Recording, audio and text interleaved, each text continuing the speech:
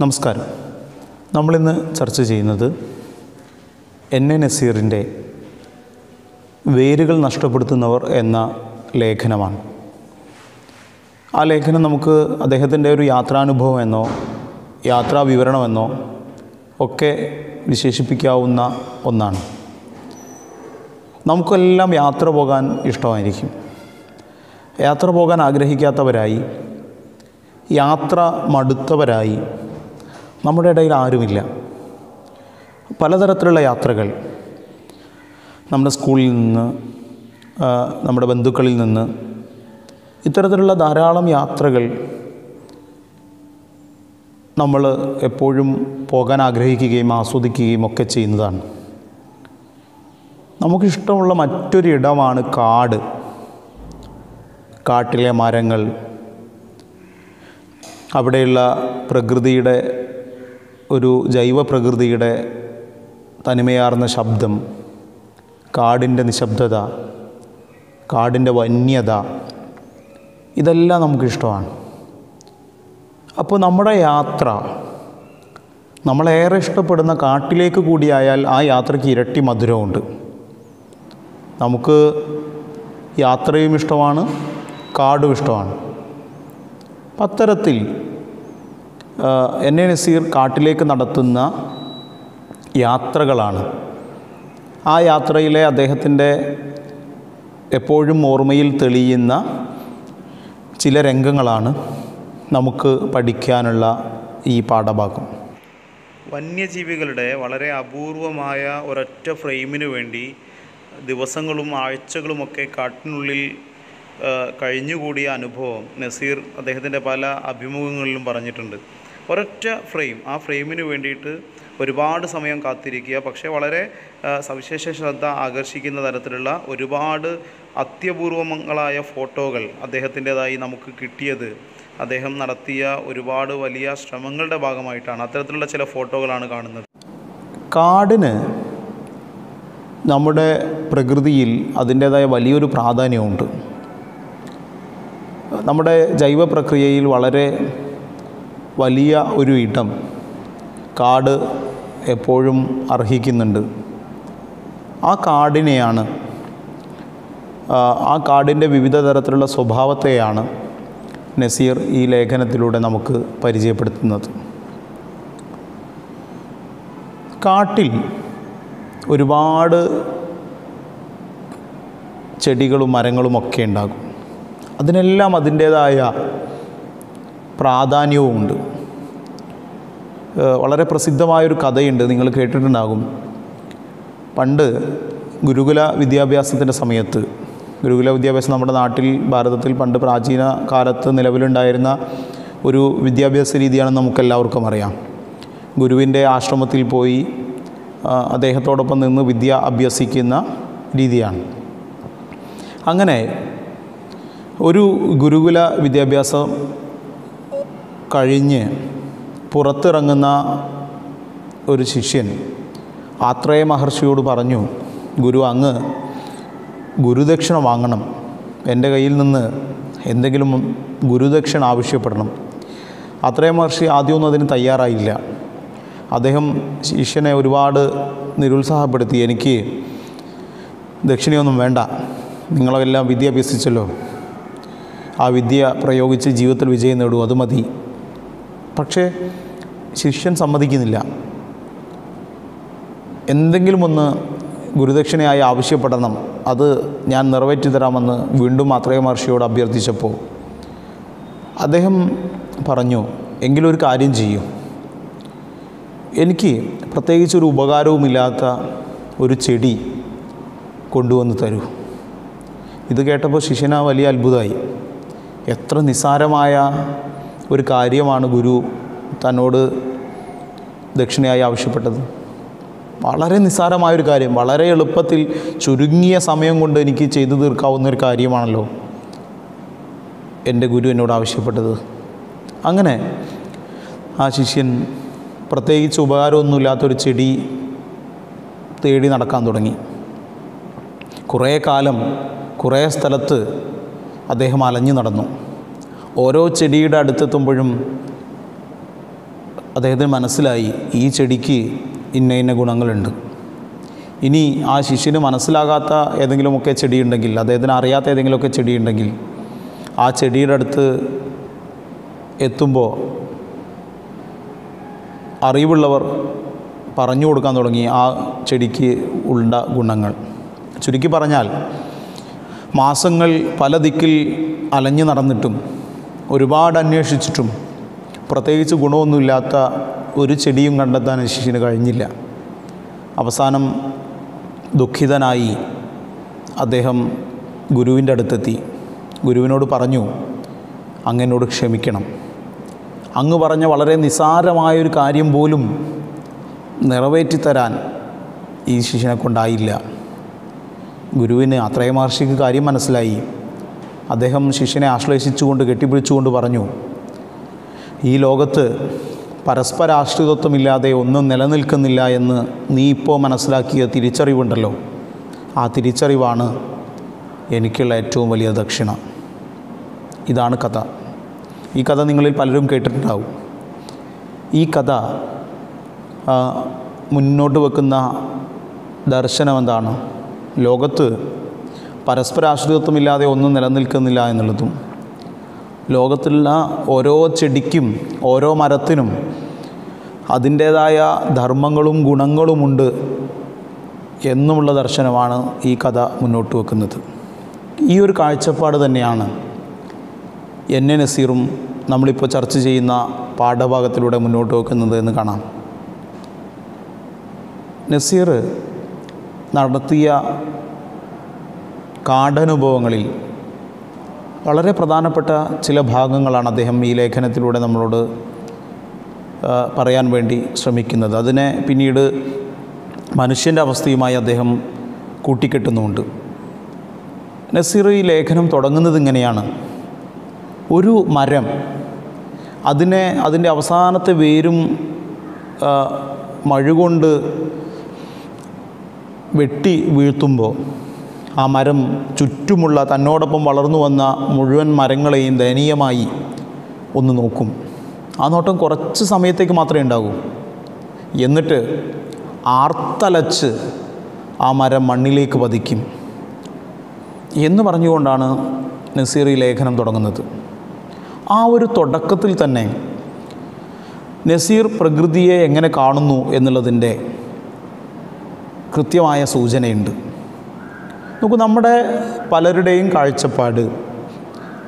പല ആളുകളും പലപ്പോഴും പരിസ്ഥിതി ദിനത്തിലടക്കം മുന്നോട്ട് വെക്കുന്ന സങ്കല്പം പ്രകൃതി മനുഷ്യന്റെ നിലനിൽപ്പിന് വേണ്ടി ഇവിടെ നിൽക്കണമെന്നുള്ളതാണ് അതായത് നമ്മളടക്കമുള്ള മനുഷ്യർക്ക് ഇനിയും അല്ലെങ്കിൽ നമ്മുടെ അടുത്ത തലമുറയ്ക്ക് ഇനിയും ഇവിടെ സുഖമായി കഴിയണമെങ്കിൽ പ്രകൃതി നന്നായി നിലനിൽക്കണം എന്ന് ഉള്ള കാഴ്ചപ്പാടാണ് പല പ്രകൃതി സ്നേഹികൾക്ക് പോലും ഉള്ളത് പക്ഷേ അങ്ങനെയല്ല. പ്രകൃതി പ്രകൃതിക്ക് തന്നെ വേണ്ടി നിലനിൽക്കേണ്ടതാണ് എന്നുള്ളൊരു കാഴ്ചപ്പാട് നമ്മൾ ഡീപ്പ് ഇക്കോളജി അല്ലെങ്കിൽ ഗഹന പരിസ്ഥിതിവാദം എന്നൊക്കെ പറയുന്ന പുതിയ വാദങ്ങൾ ഇക്കാലത്ത് ഉണ്ടായി വരുന്നുണ്ട്. അത്തരമൊരു കാഴ്ചപ്പാടാണ് യഥാർത്ഥത്തിൽ നസീർ മുന്നോട്ട് വെക്കുന്നത്. ഇവിടെ നോക്കൂ. ഒരു മരത്തെ നമ്മൾ വെട്ടി വീഴ്ത്തുമ്പോൾ ആ മരം തന്റെ ചുറ്റിലുമുള്ള മരങ്ങളെ തന്നോടൊപ്പം വളർന്നു വന്ന തന്റെ സുഹൃത്തുക്കളെ ദയനീയമായൊരു നോട്ടം നോക്കും. എന്നിട്ടത് ആർത്തലച്ച് മണ്ണിലേക്ക് പതിക്കുമെന്നാണ്. ആർത്തലക്കുക എന്നുള്ളത് നമ്മൾ പറയാറുണ്ട് ഉറക്കെ സങ്കടത്തോടെ ഉറക്കെ നെഞ്ചത്തടിച്ച് കരയുക എന്നൊക്കെ പറയും. അങ്ങനെ ഒരു അവസ്ഥയാണ്. നമ്മൾ വലിയൊരു മരത്തെ വെട്ടി മണ്ണിലേക്ക് വീഴ്ത്തുമ്പോൾ ആ മരം വീഴുമ്പോൾ ഉള്ളൊരു ശബ്ദമുണ്ടാവും ഒരു ഹുങ്കാര ശബ്ദവും ഉണ്ടാവും. യഥാർത്ഥത്തിൽ ആ ശബ്ദത്തെയാണ് ഇവിടെ നസീർ. ആ മരം ആർത്തലച്ചാണ് മണ്ണിലേക്ക് വീഴുന്നത് എന്ന് പ്രയോഗിക്കുന്നത്. ചുരുക്കി പറഞ്ഞാൽ മരത്തിന് മനുഷ്യനെ പോലെ തന്നെ ജീവനുണ്ടെന്നും മരത്തെ നമ്മൾ വെട്ടി വീഴ്ത്തുമ്പോൾ ഒരു മനുഷ്യനെ നമ്മൾ കൊല്ലുമ്പോൾ അയാൾ എങ്ങനെ ആർത്തലച്ച് ഉറക്കെ കരഞ്ഞുകൊണ്ടാണ് മണ്ണിലേക്ക് വീഴുന്നത്? അതേപോലെ തന്നെ ആ മരവും വീഴുന്നു എന്നുള്ളൊരു കാഴ്ചപ്പാടാണ് നസീർ മുന്നോട്ട് വെക്കുന്നത്. ഇവിടെ മരത്തിന് ജീവനുണ്ട് എന്നുള്ളത് ബയോളജിക്കലായിട്ടുള്ള മാനമല്ല. മറിച്ച് ഒരു മനുഷ്യാവസ്ഥയെ പോലെ തന്നെ മരത്തെ നസീർ കാണുന്നു എന്നുള്ളതാണ് ഈ തുടക്കത്തിൽ തന്നെ നമുക്ക് മനസ്സിലാവുക. പിന്നീട് അദ്ദേഹം ലേഖനത്തിൽ വരുന്ന ഭാഗം അദ്ദേഹം പറയുന്നത് മഴക്കാടിന്റെ അടിത്തട്ടിലുടനീളം വേരുകളായിരുന്നു. അവയെ പുതഞ്ഞ് കറുത്ത മണ്ണും മുകളിൽ അഴുകി കുഴമ്പു രൂപത്തിലായ മരിച്ച ഇലകൾ. അതിനു മുകളിൽ പഴകിയ ഇലകളുടെയും പൊടിഞ്ഞ ഇലകളുടെയും അടുക്ക്. വീണ്ടും മുകളിൽ പൊടിഞ്ഞ് ദ്രവിച്ചുകൊണ്ടിരിക്കുന്ന ഇലകൾ. ഏറ്റവും മുകളിൽ പൊഴിഞ്ഞു വീണുകൊണ്ടിരിക്കുന്ന ഇലകൾ. ഈ ഇലയടരുകളെല്ലാം തന്നെ അങ്ങ് താഴെയുള്ള വേരുകൾ തേടി ചെല്ലുകയാണ്. വേരുകളിലൂടെ വീണ്ടും വൃക്ഷത്തിലെത്തി പുനർജനിക്കാൻ. നോക്കൂ അദ്ദേഹം ഒരു മഴക്കാടിന്റെ ദൃശ്യമാണ് പിന്നീട് അവതരിപ്പിക്കുന്നത്.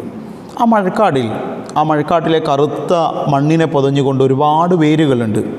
ആ വേരുകൾക്ക് മീതെ ഇലകളുടെ അടരുകൾ സൃഷ്ടിക്കപ്പെട്ടിരിക്കുന്നു. എങ്ങനെയാണത്?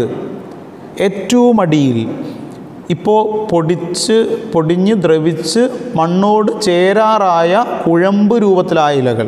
ഒരുപാട് കാലം മുമ്പേ മണ്ണിലേക്ക് വീണ് ഇപ്പോൾ മണ്ണിനോട് ചേരാനായ ഇലകൾ. അതിന് തൊട്ട് മുകളിൽ ഇപ്പോൾ പൊടിഞ്ഞുകൊണ്ടിരിക്കുന്ന ഇലകൾ അതിനു മുകളിൽ ഉണങ്ങിയ ഇലകൾ അതിനു മുകളിൽ ഇപ്പോൾ മരത്തിന് മുകളിൽ നിന്ന് വീണുകൊണ്ടിരിക്കുന്ന ഇലകൾ. ഇങ്ങനെ ഇലകളുടേതായ അടരുകൾ തട്ടുകൾ ആ മഴക്കാട്ടിൽ രൂപം കൊണ്ടിട്ടുണ്ട്. അതൊക്കെ എന്ത് ചെയ്യുന്നു? ആ മരത്തിന് മുകളിൽ നിന്ന് വീണ് കുറേ കാലം മണ്ണിൽ നിന്ന് രണ്ടോ മൂന്നോ ഘട്ടങ്ങളിലൂടെ കടന്നുപോയി. അവസാനം കുഴമ്പ് രൂപത്തിലായി മണ്ണിനോട് ചേർന്ന് ആ മണ്ണിലുള്ള വേരുകളിലൂടെ വീണ്ടും ആ വൃക്ഷത്തിലെത്തി പുനർജനിക്കുന്നു. ഒരു ഒരു പ്രകൃതിയുടെ ഒരു ചാക്രിക സംവിധാനത്തെ നസീർ മുന്നോട്ട് വെക്കുന്നു. എത്രത്തോളം മനോഹരമായ സങ്കല്പമാണെന്ന് ആലോചിച്ച് നോക്കൂ. ഈ ഈ ഒരു ദർശനത്തെ മലയാളത്തിലെ പ്രിയപ്പെട്ട കവി എ അയ്യപ്പൻ പണ്ട് ആലില എന്ന കവിതയിൽ അവതരിപ്പിക്കുന്നുണ്ട്. ഇലകളായി ഇനി നമ്മൾ ജനിക്കുമെങ്കിൽ ഒരേ വൃക്ഷത്തിൽ പിറക്കണം എന്ന് എ അയ്യപ്പൻ പറയുന്നു. ഇലകളായി ഇനിയും നമ്മൾ ജനിക്കുമെങ്കിൽ നമുക്കൊരു വൃക്ഷത്തിൽ പിറക്കണം. അത്തരമൊരു ചാക്രികമായ അവസ്ഥയാണ് നസീർ മുന്നോട്ട് വെക്കുന്നത്. പിന്നീട് അദ്ദേഹം അടുത്ത ഖണ്ഡികയിൽ പറയുന്നത് വയനാട്ടിലെ കുറുവ ദ്വീപുകളിൽ ആ, ദ്വീപുകളിൽ നിന്ന് മത്സരത്തോടെ പുഴയിലേക്ക് ഇറങ്ങിച്ചെല്ലുന്ന വേരുകളുടെ ദൃശ്യത്തെ സൂചിപ്പിച്ചുകൊണ്ടാണ്. അതിനകത്ത് നമ്മളൊക്കെ മിക്കവാറും ആളുകൾ പോയ ഒരു സ്ഥലമായിരിക്കും വയനാട്ടിലെ കുറുവ ദ്വീപ്. വയനാട്ടിലെ പ്രമുഖ ടൂറിസം കേന്ദ്രങ്ങളിൽ ഏറ്റവും പ്രധാനപ്പെട്ട ടൂറിസ്റ്റ് ഡെസ്റ്റിനേഷനുകളിൽ ഒന്നാണ് കുറുവ ദ്വീപ്. കേരളത്തിൽ നിന്ന് കിഴക്കോട്ടൊഴുകുന്ന മൂന്ന് നദികളിൽ ബാക്കി നാൽപ്പത്തി ഒന്ന് നദികളും പടിഞ്ഞാറോട്ട് ഒഴുകുമ്പോൾ മൂന്ന് നദികൾ മാത്രം കബനി ഭവാനി പാമ്പാർ മൂന്ന് നദികൾ മാത്രം കിഴക്കോട്ട് ഒഴുകുന്നു. അങ്ങനെ കിഴക്കോട്ട് ഒഴുകുന്ന കബനി നദിയുടെ ചുറ്റിലുമുള്ള ദ്വീപാണ് കുറുവ ദ്വീപ്. മനോഹരമായ കബനി നദി ചെറിയ കൈവഴികളായി ആഴ- കുറഞ്ഞ് ഒരുപാട് ഉരുളങ്കല്ലുകളും ഒക്കെ ഉള്ള രീതിയിൽ ശുദ്ധമായി ഒഴുകുന്ന സ്ഥലങ്ങളും പിന്നീട് ഒരു നദി നദി തന്നെയായി ഒരുമിച്ച് വലിയ ആഴത്തിൽ ഒഴുകുകയും പിന്നെയും അത് വഴികളായി തിരികുകയും പിന്നെയും നദിയായി ഒഴുകുകയും അങ്ങനെ ചെയ്യുന്ന ഒരു പ്രത്യേക ഭൂമിശാസ്ത്രപരമായ പ്രത്യേകതയുള്ള നദിയാണ്. അപ്പോൾ ആ നദിയുടെ തീരത്താണ് ഈ കുറുവാദ്വീപ് സ്ഥിതി ചെയ്യുന്നത്. കുറുവാദ്വീപിനകത്ത് ആ നദിയോട് ചേർന്നുകൊണ്ട് കരയിലുള്ള മരങ്ങളുടെ വേരുകൾ പുഴയിലേക്ക് ഇറങ്ങി നിൽക്കുന്നു. യഥാർത്ഥത്തിൽ ആ ഇറങ്ങി നിൽക്കുന്ന വേരുകൾ അവിടെ ആ വേരുകൾക്കിടയിൽ ഉണ്ടാകുന്ന കല്ലുകളും കൂടി. പുഴയിലുണ്ടാകുന്ന ശക്തമായ വെള്ളത്തിന്റെ ഒഴുക്കിനെ തടയുകയും മണ്ണിടിച്ചിൽ ഒഴിവാക്കുകയും ചെയ്യും. അപ്പോൾ പുഴയുടെ കരയെ തീരത്തിനെ സംരക്ഷിക്കുന്ന ഒരു ഭിത്തിയായി ഒരു മതിലായി വേരുകൾ മാറുകയാണ്. അപ്പോൾ പ്രകൃതി ഉണ്ടാക്കുന്ന ഒരു ജൈവിക മതിൽ ജൈവിക വേലി എന്ന് നമുക്കതിനെ വിളിക്കാം.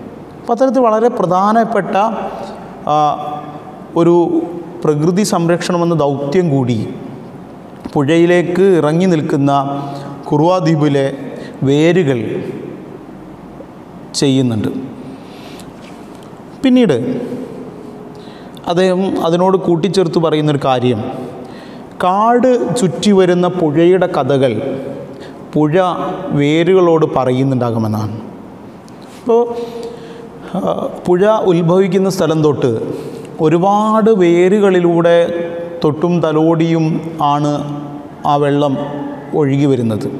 അപ്പോൾ അവിടെയൊക്കെയുള്ള വനാന്തര ഭാഗങ്ങളിലുള്ള വിശേഷങ്ങൾ ഇവിടേക്ക് പങ്കുവെക്കുന്ന രീതിയിൽ കൂടി ആ പുഴ പുഴയിലെ വെള്ളം പുഴയിലേക്ക് ഇറങ്ങി ചെല്ലുന്ന വേരുകളോട് പറയുന്നുണ്ടാകാം. ഇവിടെയും നമ്മൾ നേരത്തെ സൂചിപ്പിച്ച പോലെ വേരുകളെ ഒരു ജീവ പ്രക്രിയയുടെ ഭാഗമായി തന്നെ കാണുമ്പോഴാണ് മനുഷ്യാവസ്ഥയുമായി കൂട്ടിക്കെട്ടുമ്പോഴാണ് ഇങ്ങനെ തങ്ങൾ പുറപ്പെട്ടു വരുന്ന സ്ഥലത്തുള്ള വിശേഷങ്ങൾ മുഴുവൻ പങ്കുവെക്കുന്ന ഒന്നായി പുഴയിലെ വെള്ളത്തെയും വേരുകളെയും നസീറിന് കാണാനാവുന്നത്. പിന്നീട് അദ്ദേഹം പറയുന്നത് ഷോളയാർ കാടുകളിൽ തേൻ ശേഖരിക്കാൻ പോകുമ്പോൾ ചെമ്പൻ കുമാരൻ എന്നീ പേരുകളിലുള്ള ആദിവാസികളോടൊപ്പം തേൻ ശേഖരിക്കാൻ പോകുമ്പോഴുള്ള അനുഭവങ്ങളാണ്. വലിയ ചീനിമരക്കാടുകൾ കാണുമ്പോഴാണ് വലിയ ചീനിമര വൃക്ഷങ്ങൾ കാണുമ്പോഴാണ് അദ്ദേഹത്തിന് ചെമ്പനെയും കുമാരനെയും അവരുടെ കൂടെ തേൻ ശേഖരിക്കാൻ നടന്നിരുന്ന കാലം ഒക്കെ ഓർമ്മ വരിക. ഇവർ തേൻ ശേഖരിക്കാൻ വേണ്ടി കാട്ടിന്റെ ഉള്ളിലേക്ക് പോകുമ്പോൾ അവിടെ ദിവസങ്ങളോളം കഴിച്ചു കൂട്ടേണ്ടുന്ന സ്ഥിതി ഉണ്ടാകും അപ്പോൾ ഇവർ പ്രത്യേകിച്ച് കുമാരൻ എപ്പോഴും കാട്ടിലെ ഉറക്കത്തിനായി രാത്രിയിലെ ഉറക്കത്തിനായി തിരഞ്ഞെടുക്കുക വലിയ ചീനിമരച്ചോടുകളാണ്. ചീനിമരം നമ്മൾ ഉദ്ദേശിക്കുന്ന രീതിയിലൊക്കെയുള്ള അതിനേക്കാളൊക്കെ വലിയ പടുകൂറ്റ മരങ്ങളാണ് ആ ഒരു ചീനി മരത്തിന് ഒരുപാട് വേരുകൾ മണ്ണിലേക്ക് ഇറങ്ങിയിട്ടുണ്ടാവും. ആ വേരുകൾക്കിടയിൽ രണ്ട് വേരുകൾക്കിടയിൽ അഞ്ചോ ആറോ പേർക്ക് സുഖമായി കിടന്നുറങ്ങാമെന്നാണ് നസീർ പറയുന്നത്. അപ്പോൾ രണ്ട് വേരുകൾക്കിടയിൽ അഞ്ചോ ആറോ പേർക്ക് സുഖമായി കിടന്നുറങ്ങാൻ തക്ക വിസ്തൃതിയുള്ള അങ്ങനെയുള്ള ഒരുപാട് വേരുകൾ ചുറ്റും പടർന്നിറങ്ങിയ വലിയ ചീനിമരച്ചോടുകൾ ഈ ഷോളയാർ കാടുകളിലുണ്ട്. എന്നിട്ട് അവർ ആ വേരുകൾക്കിടയിൽ ഉറങ്ങാൻ വേണ്ടി ഉറക്കറ ബെഡ് തയ്യാറാക്കുന്നത് കൂ കാട്ടുകൂവയുടെ ഇല പറിച്ചിട്ടാണ്. കാട്ടുകൂവയുടെ വീതിയും നീളമുള്ള ഇല എടുത്ത് വിരിച്ചിട്ട് അതിന് മുകളിലാണ് കിടക്കുന്നത്. അപ്പോൾ പ്രകൃതിയെ പ്രകൃതിയിലെ വിഭവങ്ങളെ പ്രകൃതിയെ നോവിക്കാതെ ഉപയോഗപ്പെടുത്തി അതിൽ മനുഷ്യന്റെ ആവശ്യങ്ങൾ മുഴുവൻ നിറവേറ്റുന്ന ആളുകളാണ് ചെമ്പനും കുമാരനും ഇനി ഈ പാഠഭാഗത്തിൽ വരാനുള്ള ആളുകളെല്ലാം. പിന്നീട് അദ്ദേഹം ഇങ്ങനെ കിടന്നുറങ്ങിയ രാത്രി ഷോളയാർ കാട്ടിൽ ഒരു ദിവസം അദ്ദേഹം ഇങ്ങനെ വലിയൊരു ചീനിമരത്തിന്റെ വേരുകൾക്കിടയിൽ ചെമ്പന്റെയും കുമാരന്റെയും ഒപ്പം കിടന്നുറങ്ങി. പിന്നീട് രാവിലെ കണ്ണു തുറന്ന് നോക്കുമ്പോൾ അദ്ദേഹം കാണുന്നത് താൻ കിടക്കുന്നത് ഇലകൾ കൊണ്ടുണ്ടാക്കിയ ഒരു പടുകൂറ്റൻ കുടയുടെ കീഴിലാണ് എന്നുള്ളതാണ്. നോക്കൂ ആ ഒരു അവസ്ഥ നോക്കൂ. നമ്മൾ ഒരു ഒരു മരത്തിന്റെ വലിയൊരു മരത്തിന്റെ ചുവടെ മലർന്നു കിടന്ന് മുകളിലേക്ക് നോക്കുമ്പോൾ കാണുന്നൊരു ദൃശ്യം മനോഹരമായൊരു ദൃശ്യം ഒരുപാട് ഇലകൾ കൊണ്ടുണ്ടാക്കിയ വലിയ ഒരു ഒരു കുടയുടെ കീഴെ നമ്മൾ കിടക്കുന്ന പോലെയാണ്. അപ്പോൾ ആ ഒരു ചിത്രത്തെ നസീർ വരികളിലൂടെ ഇവിടെ പകർത്തി വെക്കുന്നു. ആ അത്തരം കിടപ്പിലാണ് ആ വലിയ വൃക്ഷത്തിന്റെ ഉയരം കണ്ണുകളിൽ നിറയെ കണ്ടത്. അതെ ഓരോ വൃക്ഷവും വേരുകളിലൂടെ ആകാശത്തോളം ഉയർന്നു നിൽക്കുന്നത് ആസ്വദിക്കണമെങ്കിൽ നാം വേരുകൾക്കൊപ്പം ഭൂമിയോളം താഴണം. ഈ വരികൾ ഓരോ വൃക്ഷവും വേരുകളിലൂടെ ആകാശത്തോളം ഉയർന്നു നിൽക്കുന്നത് ആസ്വദിക്കണമെങ്കിൽ നാം വേരുകൾക്കൊപ്പം ഭൂമിയോളം താഴണം എന്നുള്ള വരികൾ ഒരു ദർശനം കൂടിയാണ്. നമുക്ക് ഒരു മരത്തിന്റെ അവസ്ഥ തന്നെയാണ് മനുഷ്യന്റെയും അവസ്ഥ. നമ്മൾ ഉയർന്നു നിൽക്കണമെങ്കിൽ ഉയർന്നു നിൽക്കുന്ന കാഴ്ച കാണും നമ്മുടെ അടിത്തട്ട് അത്രത്തോളം ഉറപ്പുള്ളതായിരിക്കണം ദൃഢമായിരിക്കണം. അത്രത്തോളം നമ്മൾ മണ്ണിലേക്ക് ഇറങ്ങണം. എങ്കിലേ നമുക്ക് വെല്ലുവിളികളെ ഒക്കെ അതിജീവിച്ചുകൊണ്ട് പിടിച്ചു നിൽക്കാൻ കഴിയുള്ളൂ. അത് തന്നെയാണ് മരത്തിന്റെ അവസ്ഥ. മരം എത്രത്തോളം ഉയരത്തിലേക്ക് പോകുന്നോ അത്രത്തോളം ആ മരം മണ്ണിലേക്ക് വേരുകളിലൂടെ ആഴ്ന്നിറങ്ങിയിട്ടുണ്ടാകും. അപ്പോഴേ ആ മരത്തിന് ഉറപ്പ് കിട്ടുള്ളൂ. അപ്പോൾ അത്തരം ഒരു ദർശനത്തെ കൂടി ആ ഒരു കാഴ്ച നസീറിനെ സമ്മാനിക്കുന്നുണ്ട് എന്നാണ് നമുക്ക് കാണാൻ വേണ്ടി പറ്റുക. പിന്നീട് അദ്ദേഹം പറയുന്നത് ഭൂമിക്ക് വേരുകളിലൂടെ ആയിരിക്കാം ആകാശത്തെ തൊടാനാവുക. അതും ഈ പറഞ്ഞതിന്റെ ഒരു തുടർച്ചയാണ്. ഭൂമി വേരുകളിലൂടെ ആകാശത്തെ തൊടുന്നു. ആ മരം ഉയർന്നു നിൽക്കുന്ന കാഴ്ച തന്നെയാണ്. ആകാശത്ത് നിന്ന് ഇറങ്ങി വന്ന് ഭൂമിയെ തൊടുന്ന പോലെയാണ് ചില ആൽമരങ്ങളുടെ വേരുകൾ. നമുക്കറിയാം ആൽമരങ്ങൾ മുകളിൽ നിന്ന് താഴോട്ടാണ് വേരുകളെ ഉണ്ടാക്കുക. അത്തരം വൃക്ഷങ്ങൾ വേരുകളാൽ ചുറ്റും അതിരുകൾ തീർക്കും. നമ്മൾ അറിയാം ഒരു ഒരു ആൽമരം നമ്മുടെ നാട്ടിലുണ്ടെങ്കിൽ നമുക്കറിയാം അത് കുറേ കാലം നമ്മളിങ്ങനെ നിരീക്ഷിച്ചു കഴിഞ്ഞാൽ അത് അതിന്റെ അതിരുകളെ അങ്ങനെ വലുതാക്കിക്കൊണ്ടിരിക്കും. ചെറിയ ആൽമരാകുമ്പോൾ ഒരു ചെറിയ വൃത്തത്തിനകത്ത് അതിന്റെ വേരുകൾ ഇങ്ങനെ താഴ്ത്തി കൊണ്ടുവരും ആ ആൽമരങ്ങൾക്ക് ഒരുപാട് ശിഖരങ്ങളുണ്ടായി. അത് പടർന്ന് പന്തലിക്കുമ്പോൾ ചുറ്റും വേരുകളിങ്ങനെ താഴ്ന്നിറങ്ങും. അപ്പോൾ ആ വേരുകൾക്കുള്ളിൽ ഒരു ജൈവിക ലോകം പിറവികൊള്ളും. ആ വേരുകളാണ് യഥാർത്ഥത്തിൽ ആ ആൽമരത്തിന് കീഴെ ഒരു ജൈവിക ലോകത്തെ ഉണ്ടാക്കുന്നു. പക്ഷേ അതിന്റെ പ്രാധാന്യത്തെ മനുഷ്യർ പലപ്പോഴും വിലമതിക്കാറില്ല എന്നൊരു സങ്കടത്തെ കൂടി നസീർ ഈ ഭാഗത്ത് മുന്നോട്ട് വെക്കുന്നത് നമുക്ക് കാണാം. പിന്നെ അദ്ദേഹം പറയുന്നത് വേരുകളാൽ പ്രണയിച്ചു പോയ ഒരു പാറ ഇപ്പോഴും ക്യാമറ ഫ്രെയിമിൽ നിറയുന്നു. വേരുകൾ അതിനെ വല്ലാതെ ആലിംഗനം ചെയ്ത് നിർത്തിയിരിക്കുകയായിരുന്നു. ആ ഫ്രെയിം വേരുകളാൽ വല്ലാതെ പ്രണയിച്ചു പോയ പാറ പലപ്പോഴും ചില കല്ലുകളെയൊക്കെ തടഞ്ഞു നിർത്താൻ വേരുകൾക്കാവും. ഇപ്പോൾ ഈ നമ്മുടെ ഈ ചിത്രത്തിൽ കാണുന്ന വേര് വേരുകൾക്കിടയിലുള്ള പാറ അത്തരത്തിലാണ്. ആ പാറയും വേരുകളും തമ്മിൽ അത്രത്തോളം പ്രണയതീക്ഷണമായൊരു ബന്ധം മുന്നോട്ട് വെക്കുന്നുണ്ട് എന്ന് നസീറും തോന്നുന്നു. അതുകൊണ്ടാണ് അവർ ആലിംഗനബദ്ധരായി നിൽക്കുന്നത് അവർക്ക് പരസ്പരം പിടിവിടാൻ തോന്നാതിരിക്കുന്നത് അവർ അങ്ങനെ ഒരുമിച്ച് കഴിയുന്നു. നസീറിന്റെ ഒരു ചിത്രമാണ്. അപ്പം ഇത്തരത്തിലുള്ള വേരുകളെ നസീർ വീണ്ടും പറയുന്നു പുഴയ്ക്കടിത്തട്ടിലെ ചുവന്ന നിറമാർന്ന വേരുകൾ കണ്ടാൽ ഇത്തരം വേരുകൾ ഇഷ്ടമില്ലാതെ അവിടുന്ന് പോയതുപോലെ തോന്നും. എന്ന് പറഞ്ഞാൽ ഇഷ്ടമില്ലാതെ നിർബന്ധിച്ചു പോകുമ്പോഴുള്ള അല്ലെങ്കിൽ അത്തരത്തും ബലപ്രയോഗം നടത്തുമ്പോഴുള്ള രക്തത്തിന്റെ നിറമായി ചുവന്ന വേരുകളെ നസീറിന് തോന്നുകയാണ്. ഇവിടൊക്കെ നമ്മൾ ആമുഖത്തിൽ പറഞ്ഞ പോലെ ജീവനുള്ള പ്രകൃതി അംശങ്ങൾ എന്നുള്ള രീതിയിൽ ഉയർന്നു കാണുമ്പോൾ ചിന്തിക്കുമ്പോൾ മാത്രമേ നമുക്ക് നസീറിന്റെ ഒരു കാഴ്ചപ്പാടിനൊപ്പം എത്താൻ പറ്റുള്ളൂ എന്നുള്ളതാണ്. ഇനി അദ്ദേഹം അടുത്തതായിട്ട് പറയുന്നത് കാട്ടുവൃക്ഷ വേരുകളെ തഴുകി ഒഴുകുന്ന അരുവികളിൽ മുങ്ങി വരുമ്പോൾ കാടിന്റെ മുഴുവൻ ഊർജവും മനസ്സിലേക്കും ശരീരത്തിലേക്കും പ്രവഹിക്കുന്ന അനുഭവം ഉണ്ടാകും. കാട്ടിലെ അരുവികൾ നമ്മൾ മനുഷ്യൻ അല്ലെങ്കിൽ നാഗരിക മനുഷ്യൻ നമ്മൾ പുറത്തുള്ള സംസ്കാര സമ്പന്നൻ എന്നൊക്കെ നമ്മൾ സ്വയം വിശേഷിപ്പിക്കുന്ന നമ്മൾ പ്രകൃതിയെ പലപ്പോഴും പലതരത്തിൽ ഉപയോ പിന്നെ ഉപദ്രവിക്കുന്നു.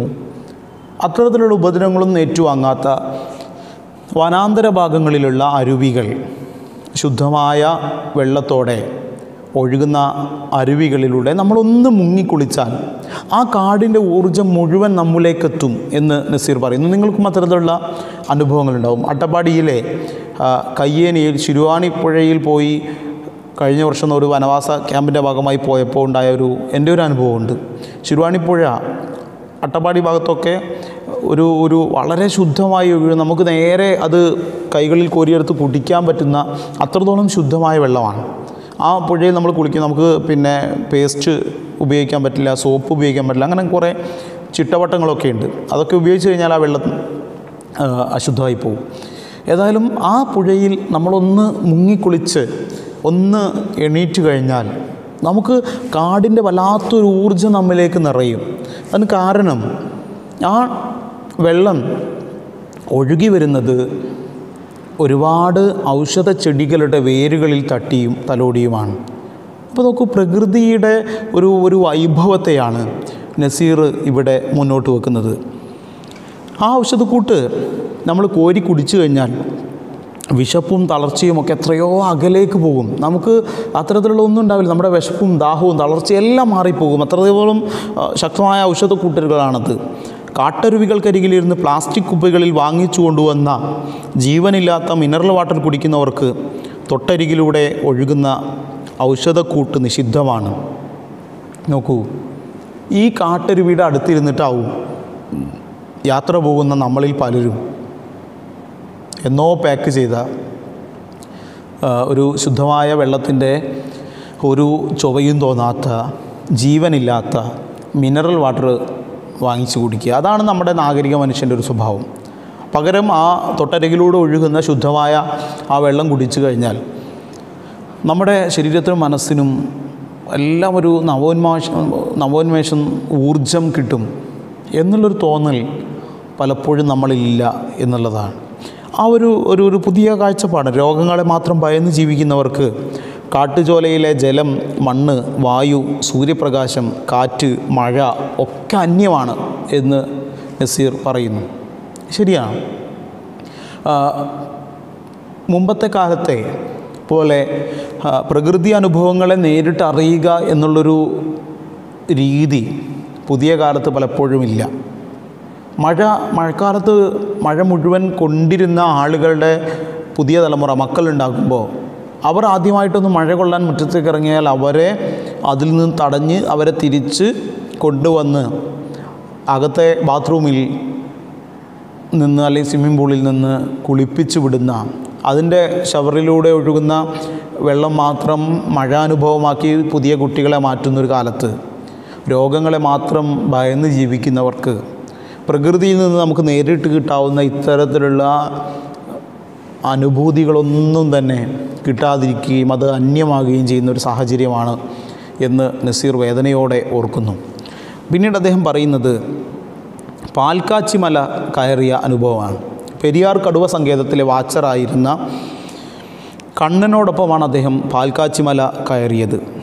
ആ കയറ്റത്തിന്റെ യാത്രയുടെ പ്രത്യേകത അധികമാരും കയറി ചെല്ലാത്ത ഒരിടമായിരുന്നു അത്. മുകളിലേക്ക് കയറി ചെന്നാൽ അവിടെ ഒരു നിത്യഹരിത വനമുണ്ട് എന്ന് നസീർ പറയുന്നു.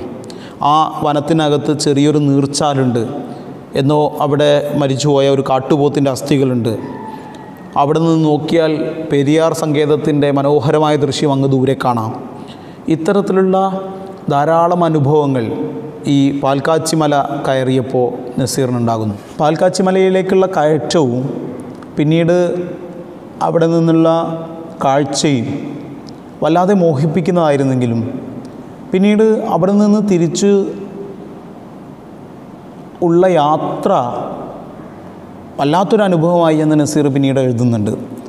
അദ്ദേഹം പറയുന്നു ആ യാത്ര ഒരിക്കലും മറക്കാനൊക്കില്ല ആരുമാരും ഇറങ്ങിയിട്ടില്ലാത്ത ചെരുവിലൂടെയായിരുന്നു ആ യാത്ര.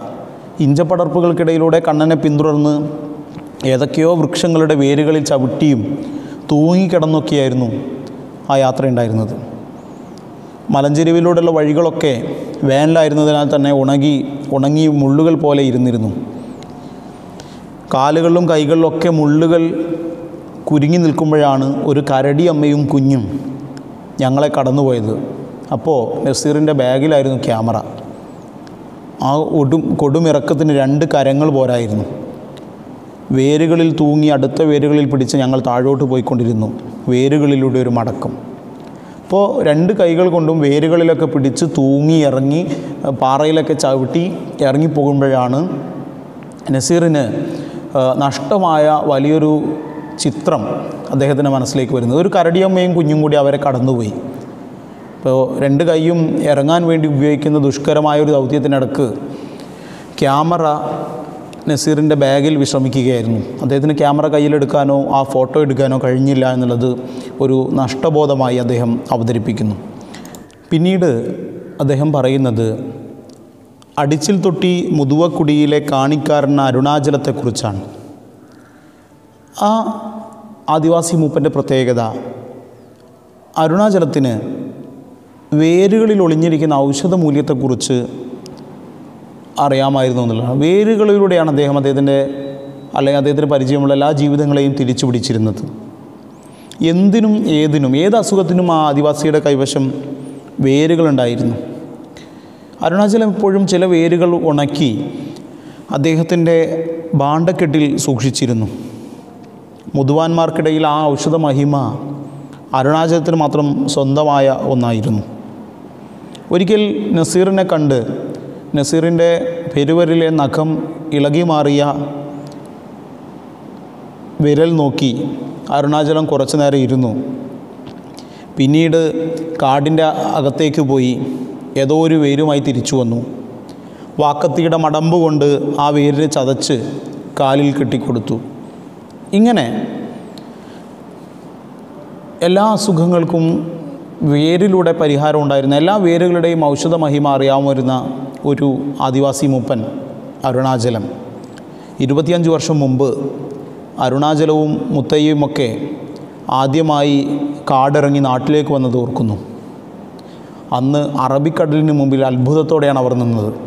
ആദിവാസികളെ സംബന്ധിച്ചിടത്തോളം കാട്ടുനിവാസികളെ സംബന്ധിച്ചിടത്തോളം കടൽ പുതിയൊരു കാഴ്ചയും അനുഭവമാണ് അതിന്റെ ഒരു അത്ഭുതം അവരുടെ നോട്ടത്തിലുണ്ടായിരുന്നു. പിന്നീട് കണ്ടൽക്കാടുകളിലെ വേരുകൾക്കിടയിൽ തനിക്ക് പരിചിതമായ ഏതൊക്കെയോ വേരുകളുണ്ടോ എന്ന് അരുണാചലത്തിന്റെ കണ്ണുകൾ അന്വേഷിക്കുന്നതും നസീർ കാണുന്നുണ്ട്. ഇന്ന് അടിച്ചിൽ തൊട്ടിയിൽ അരുണാചലമില്ല. അദ്ദേഹം മരിച്ചു പോയിരിക്കുന്നു വേരുകളുടെ രഹസ്യം അറിയുന്നവരാരുമില്ല. അപ്പോൾ ഒരു ചെറിയ പനി വന്നാൽ പോലും അവർ പട്ടണത്തിലെ ഡോക്ടർമാരെ പോയി കാണുന്ന സ്ഥിതിയിലേക്ക് പണ്ട് എല്ലാ അസുഖങ്ങൾക്കും പ്രകൃതിയിൽ നിന്ന് തന്നെ പ്രതിവിധി ഉണ്ടാക്കിയിരുന്ന ആളുകൾ പോലും മാറിയിരിക്കുന്നു എന്നുകൂടി നസീർ ചൂണ്ടിക്കാട്ടുന്നു.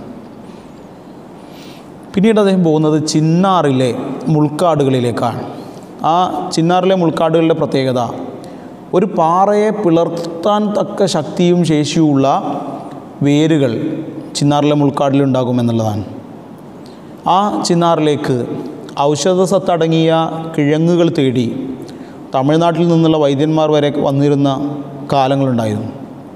മുൾക്കാടുകൾക്ക് അതിന്റേതായ ഔഷധ സസ്യങ്ങൾ ഏറെയുണ്ട് എന്ന് നസീർ സൂചിപ്പിക്കുന്നു. ചിന്നാർ കാടുകളും മുതുമല കാടുകളും ഒരേപോലെയാണ്.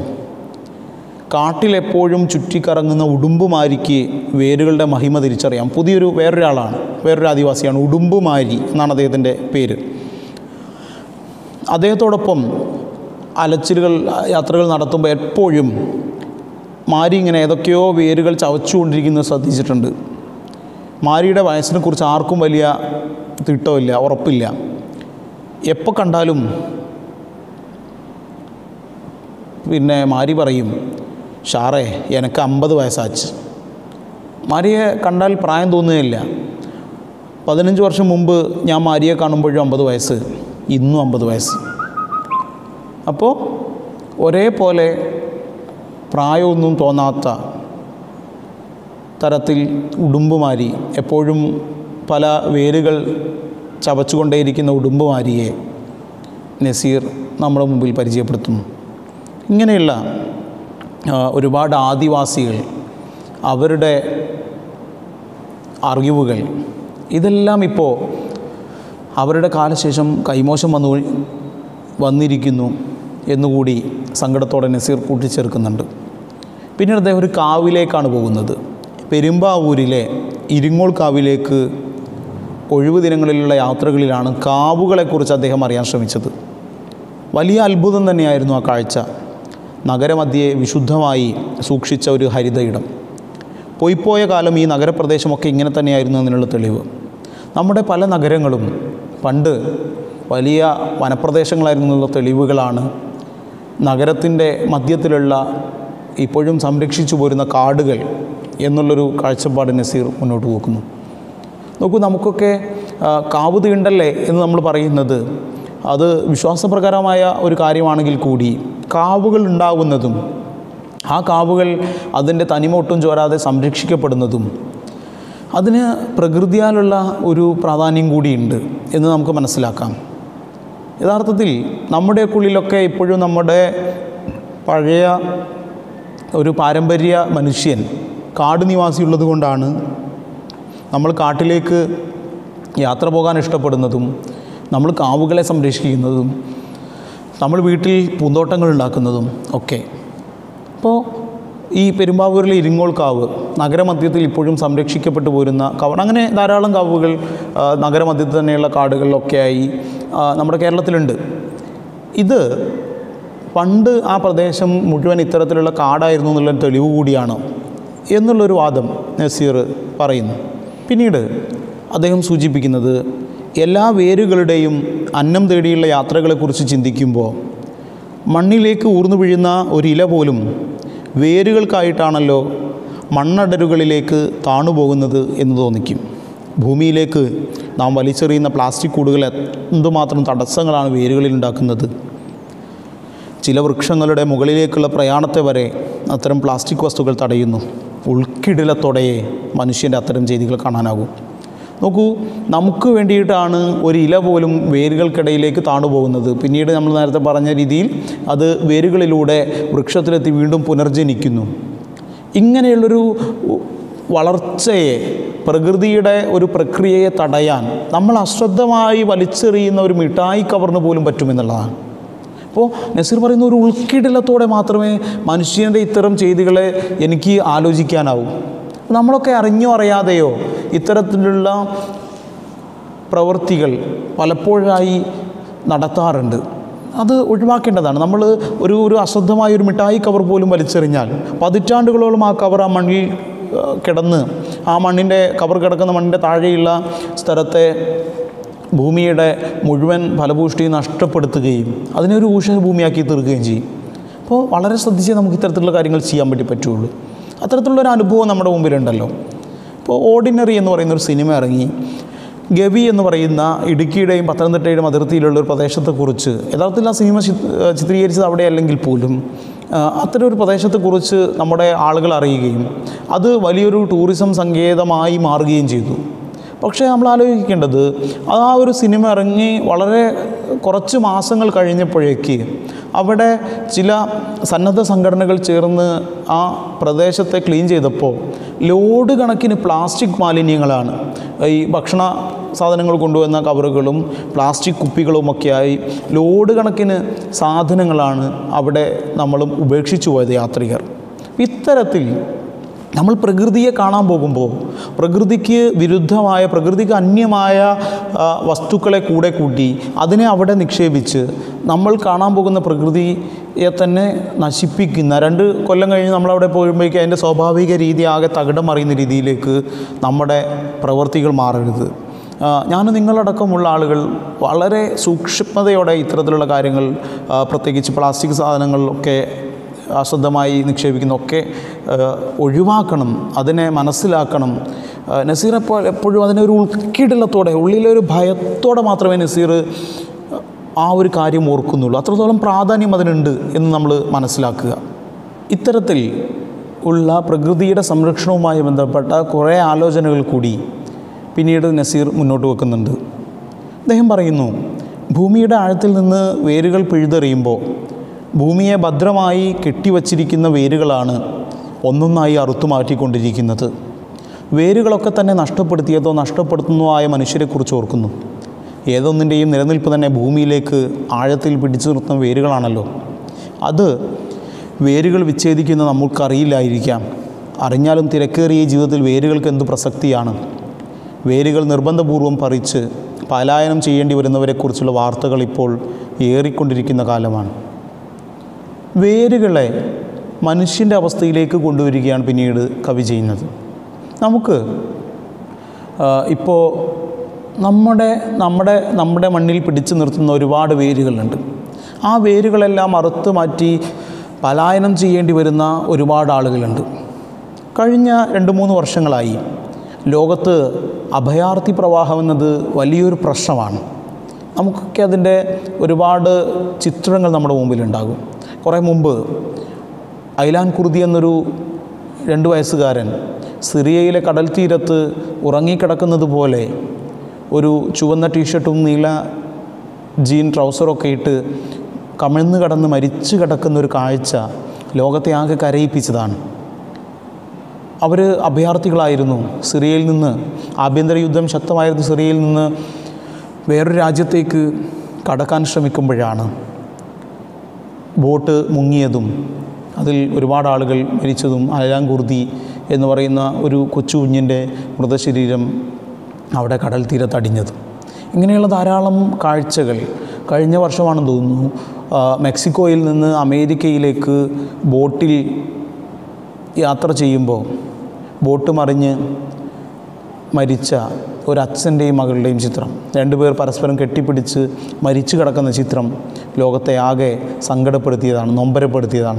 അപ്പം അത്തരത്തിലുള്ള ഒരുപാട് അഭയാർത്ഥി പ്രവാഹങ്ങൾ ലോകത്തിന്റെ പല ഭാഗത്തായിട്ട് നടക്കുന്നു പല പ്രശ്നങ്ങൾ കൊണ്ട്. അപ്പോൾ ഇത്തരത്തിലുള്ള മുഴുവൻ ആളുകളെയും തങ്ങളുടേതായ സ്വത്വത്തെ തങ്ങളുടെ പാരമ്പര്യത്തെ തങ്ങളുടെ പൈതൃകത്തെ മുഴുവൻ നശിപ്പിച്ച് മുന്നേറുന്ന മനുഷ്യരെ നസീർ ഓർക്കുന്നു.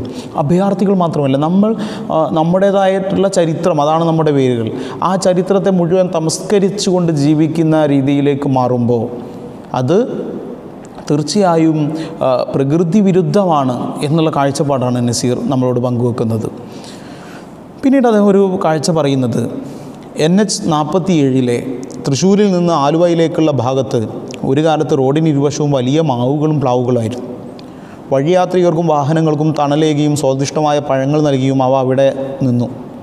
ഇന്നവിടെ ഒറ്റ വൃക്ഷവും കാണാൻ സാധിക്കില്ല. റോഡിന് മധ്യേ പിടിപ്പിച്ചിരിക്കുന്ന വർണച്ചെടികൾക്ക് പകരം നാട്ടുവൃക്ഷങ്ങളായിരുന്നു വേണ്ടിയിരുന്നത്. എങ്കിൽ ഭീകരനായ ആ റോഡിന്റെ വശങ്ങളിലെ ചൂടിന് ഒരു ആശ്വാസം നൽകാനും ഭൂമിയിലെ ജലത്തിന്റെ ശോഷണത്തിന് കുറച്ചെങ്കിലും തടയിടാനും കഴിയുമായിരുന്നു. നോക്കൂ നിങ്ങൾ പലരും യാത്ര ചെയ്യാൻ സാധ്യതയുള്ളൊരു സ്ഥലമാണ് തൃശ്ശൂർ എറണാകുളം നമ്മുടെ ഹൈവേ. ആ ഹൈവേയുടെ നടുവിൽ ഇപ്പോൾ നമ്മുടെ അലങ്കാര ചെടികൾ വർണച്ചെടികളാണുള്ളത്. പണ്ട് നസീർ പറയുന്നു അവിടെ ഉണ്ടായിരുന്നത് കൂറ്റൻ ഫലവൃക്ഷങ്ങളായിരുന്നു ആ ഫലവൃക്ഷങ്ങൾ നമുക്ക് യഥേഷ്ടം തണൽ തരികയും അതിന്റെ സീസണുകളിൽ അത് നമുക്ക് പഴങ്ങൾ തരികയും ചെയ്യും. പക്ഷേ അതൊക്കെ റോഡ് വികസനത്തിന്റെ ഭാഗമായി നമ്മുടെ പുതിയ വികസന സങ്കല്പത്തിന്റെ ഭാഗമായി നമ്മൾ വെട്ടിമാറ്റുകയും പകരം ഒരു തണലുമേകാൻ സാധ്യതയില്ലാത്ത ഒരു ഫലവും നമുക്ക് തരാൻ ഒരു നിർവാഹവും ഇല്ലാത്ത അലങ്കാര ചെടികൾ നമ്മൾ വെച്ച് പിടിപ്പിക്കുകയും ചെയ്തു. അതല്ല വേണ്ടിയിരുന്നത്. ഇപ്പം നിങ്ങൾക്ക് വേറൊരു അനുഭവം ഈ കോഴിക്കോട് ഭാഗത്തേക്ക് പോകുമ്പോൾ നമ്മുടെ രാമനാട്ടുകര തൊണ്ടയാട് ബൈപ്പാസ് ഉണ്ട്. ആ ബൈപ്പാസിൽ രാമനാട്ടുകര കഴിഞ്ഞാൽ ഏതാണ്ട് പന്തീരാങ്കാവ് എത്തുന്നത് വരെയുള്ള സ്ഥലം. റോഡിന് ഇരുവശത്തു നിന്നും മരങ്ങൾ വളർന്ന് റോഡിനൊരു പന്തൽ പോലെ നിൽക്കുന്നുണ്ട്. പ്രകൃതി ഒരുക്കിയ പന്തൽ. ആ സ്ഥലത്തേക്ക് നമ്മൾ എത്തിക്കഴിഞ്ഞാൽ ഏത് നട്ടുച്ചയ്ക്കും ബൈക്കിൽ പോകുന്ന ഒരാൾക്ക് പോലും വലിയ തണുപ്പും തണലൊക്കെ അനുഭവപ്പെടും. പ്രകൃതിയുടെ ഒരു മേന്മയാണ് പ്രകൃതിയുടെ ഒരു വൈഭവമാണ്. ആ വൈഭവത്തെ നമ്മൾ പുതിയ വികസന സങ്കല്പത്തിന്റെ ഭാഗമായി നഷ്ടപ്പെടുത്തി കളയുകയും അതിനു പകരം യാതൊരുവിധ ഉപകാരവുമില്ലാത്ത ചെറിയ ചെടികൾ കൊണ്ടുവന്ന് നടുകയും ചെയ്യുന്നു എന്നുള്ളതാണ്. അപ്പം ഇത്തരത്തിലുള്ള ധാരണകൾ മാറേണ്ടതാണ് എന്നുകൂടി നസീറിന് അഭിപ്രായമുണ്ട്. അദ്ദേഹം നാട്ടുവൃക്ഷങ്ങളുടെ കുറച്ചുകൂടി ഗുണങ്ങൾ പിന്നീട് പറയുന്നു. നാട്ടുവൃക്ഷങ്ങളുടെ വേരുകൾക്കൊക്കെ ഭൂമിയിലെ ഈർപ്പത്തെ നിലനിർത്താനും ജലം ശേഖരിച്ചു വയ്ക്കാനുമുള്ള കഴിവുകളുണ്ട്. കിഴക്ക് നിന്ന് പടിഞ്ഞാറോട്ട് ചെരിഞ്ഞു കിടക്കുന്ന ഈ കൊച്ചു കേരളം ഇവിടെ ശേഷിക്കുന്ന പച്ചപ്പിലെ വേരുകളുടെ ബലത്തിലാണ് നിൽക്കുന്നതെന്ന് അവ പിഴുതെറിയുന്നവർക്ക് അറിയില്ലായിരിക്കാം. വസിക്കാൻ ഇടമില്ലാത്ത ഇടങ്ങളിൽ പുതിയ പുതിയ പാതകളും പദ്ധതികളുമായി വരുന്നവർക്ക് മണ്ണിനെക്കുറിച്ചും വേരുകളെക്കുറിച്ചും എന്തറിയാം? നോക്കൂ കേരളത്തിന്റെ ഒരു അവസ്ഥ. വളരെ സമഗ്രമായിട്ടാണ് അദ്ദേഹം അവതരിപ്പിക്കുന്നത്. നമ്മുടെ അവസ്ഥ കിഴക്ക് നിന്ന് പടിഞ്ഞാറോട്ട് ചെരിഞ്ഞു കിടക്കുന്നതാണ്. മലനാട് ഇടനാട് തീരദേശം. അതാണല്ലോ കേരളത്തിന്റെ ഒരു ഭൂപ്രകൃതി എന്ന് പറയുന്നത്. ആ ഭൂപ്രകൃതിയെ സംരക്ഷിച്ചു നിർത്തുന്ന യഥാർത്ഥത്തിൽ ഈ വേരുകളാണ് ഈ മരങ്ങളാണ്. അതിനെ നശിപ്പിക്കുന്നവർക്ക് അറിയില്ല അതിന്റെ ഒരു ഗുണം എന്ന് പറയുന്നത് അല്ലെങ്കിൽ അതിന്റെ നിലനിൽപ്പ് നമ്മുടെ കേരളത്തിന്റെ നിലനിൽപ്പാണെന്ന് ഇവർക്ക് ഇപ്പോഴും അറിയില്ല. അതുകൊണ്ടാണ് ഒരിക്കലും പ്രകൃതിയാൽ സാധ്യമല്ലാത്ത സ്ഥലങ്ങളിൽ പുതിയ പുതിയ പദ്ധതികളും റോഡുകളും എല്ലാം നമ്മൾ കൊണ്ടുവരുന്നത് എന്ന് അദ്ദേഹം സൂചിപ്പിക്കുന്നു. വേരുകൾ നഷ്ടപ്പെടുന്നത് മണ്ണിന് യാതൊരു ദാക്ഷിണ്യവുമില്ലാതെ തുടർച്ചയായ ഇടിച്ചിലുകളോടെ പ്രതികരിച്ചുകൊണ്ടിരിക്കാനേ ഒക്കൂ. ഓരോ വേരും പിഴുതെറിയുമ്പോൾ നാം നമ്മുടെ വേരുകളാണ് നശിപ്പിച്ചുകൊണ്ടിരിക്കുന്നത്.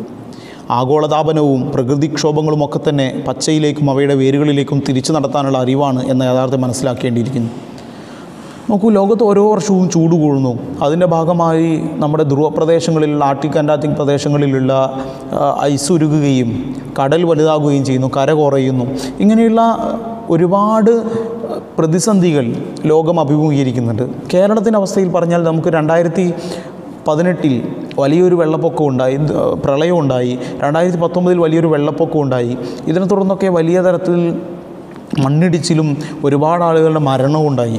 ഇതൊക്കെ പ്രകൃതിയുടെ പ്രതികരണമാണ്. പ്രകൃതിയെ ഒരു തരത്തിലും പരിഗണിക്കാതെ മുന്നോട്ട് പോകുന്ന മനുഷ്യനോടുള്ള പ്രകൃതിയുടെ താക്കീതാണ് എന്നുള്ളത് നമ്മളിപ്പോഴും തിരിച്ചറിയുന്നില്ല എന്നാണ് നസീർ പറയുന്നത്.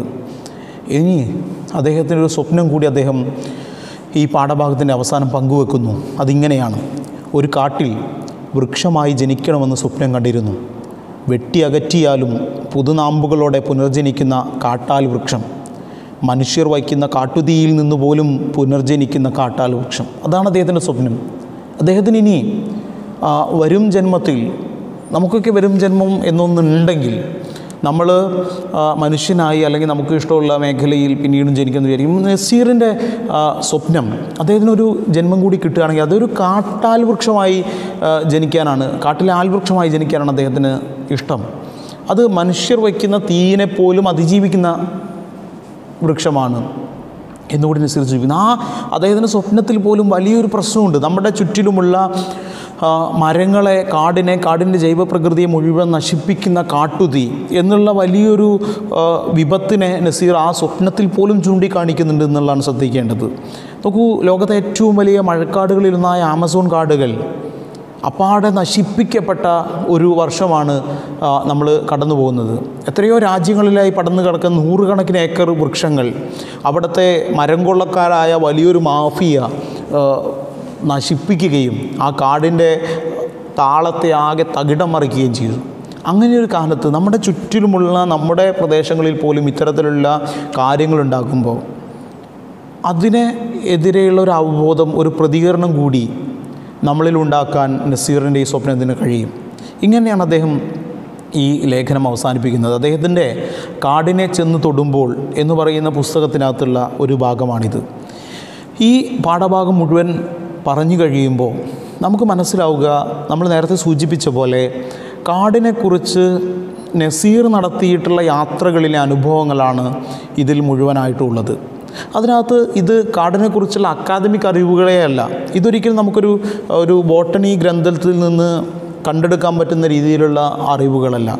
ഇവിടെ അദ്ദേഹത്തിന് അക്കാദമിക് പുസ്തകങ്ങളല്ല അദ്ദേഹത്തിന്റെ ഗുരു. അദ്ദേഹത്തിന്റെ ഗുരു എന്ന് പറയുന്നത് പ്രകൃതിയാണ്. പ്രകൃതിയിൽ ജീവിക്കുന്ന അരുണാചലവും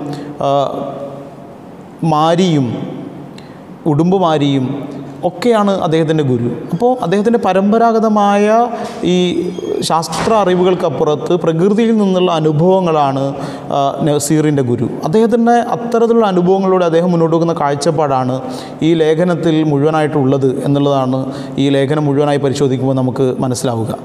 ഇത്തരത്തിൽ മനുഷ്യനും പ്രകൃതിയുമായി ഇണങ്ങി ജീവിച്ചിരുന്ന ഒരു കാലത്തെക്കുറിച്ച് അത്തരമൊരു വിശാലമായ കാഴ്ചപ്പാടിനെ കുറിച്ച് നസീർ അദ്ദേഹത്തിന്റെ സ്വപ്നങ്ങൾ പങ്കുവെക്കുന്ന പാഠഭാഗമാണ് വേരുകൾ നഷ്ടപ്പെടുത്തുന്നവർ. നന്ദി.